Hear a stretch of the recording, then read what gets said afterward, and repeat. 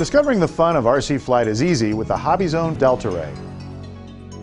Revolutionary safe technology makes this sleek Delta Wing design easier to master than many conventional trainers.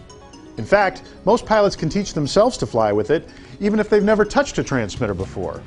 It comes ready to fly with a Spektrum DX4E transmitter with batteries, a LiPo flight pack, and a charger. It's been equipped with a safe receiver that gives the pilot four flight modes to choose from. They are beginner mode, intermediate mode, experienced mode, and panic mode. Pilots can choose between beginner, intermediate, and experienced modes using this three-position switch on the transmitter. Panic mode, which is used to quickly recover from unusual attitudes, is activated by pressing and holding this spring-loaded button here. We'll cover panic mode in more detail later. First, let's go over the regular flight modes, starting with beginner. Beginner mode gives first-time pilots a narrow flight envelope that prevents aggressive bank or pitch angles.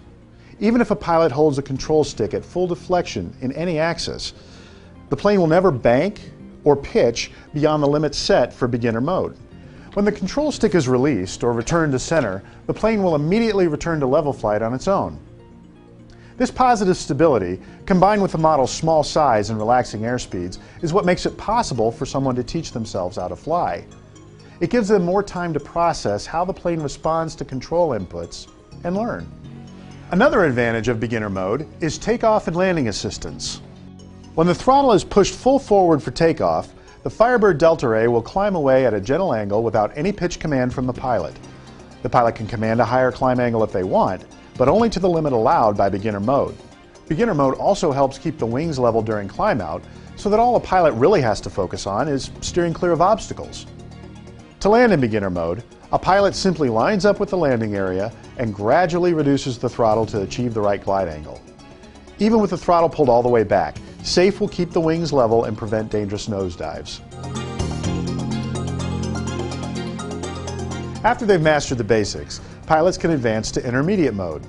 In this mode, greater bank and pitch angles are allowed and there is no self-leveling. The flight envelope for this mode is basically programmed to keep the aircraft from pitching or rolling inverted.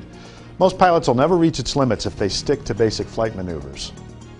For those who've proven themselves in beginner and intermediate mode, there's experienced mode.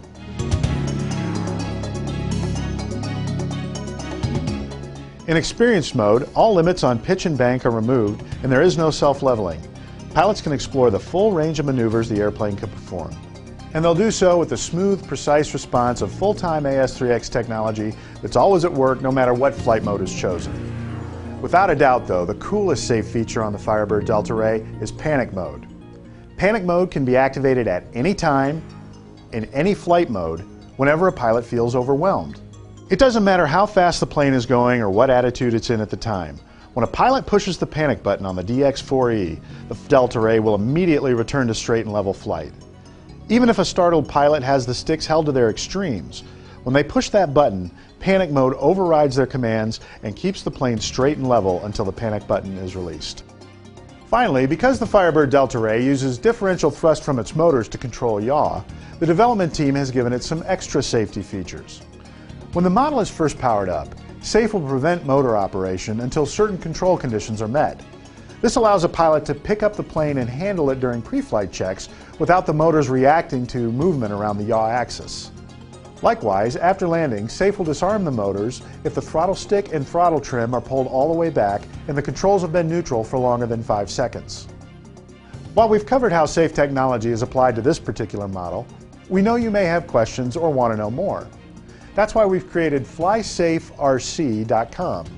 This is the official website for SAFE technology. In addition to frequently asked questions, you'll find complete details about SAFE technology, videos on other SAFE-equipped aircraft, and more.